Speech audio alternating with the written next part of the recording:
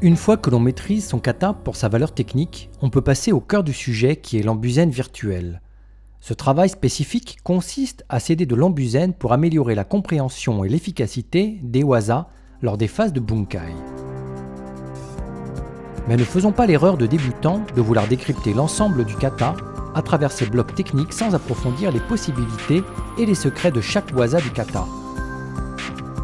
Comme indiqué en début de programme, l'ambusène montre le déplacement mais également la longueur d'un kata.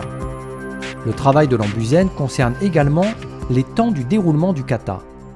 Un débutant perçoit son kata en allouant le temps par technique. Nous voyons clairement qu'un waza peut révéler des actions en deux, trois ou quatre temps. Une seule technique comprend dans son exécution une séquence complète permettant de se débarrasser d'un adversaire. C'est le secret de l'ambusène du kata et le vrai pouvoir du bunkai dans sa forme la plus profonde. Nous venons d'analyser ensemble les principaux waza de Heian Shodan. Pour réussir vos bunkai, vous devez effectuer la même analyse sur chaque waza de vos katas respectifs.